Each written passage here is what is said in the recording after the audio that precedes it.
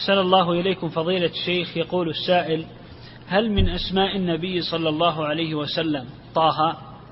لا لا طه ولا ياسين ولا هذه العوام يقولون. طه حروف مقطعة طه يا سين يا هذه يا سين حرف حروف مقطعة. فلا تكون أسماء للرسول صلى الله عليه وسلم. نعم.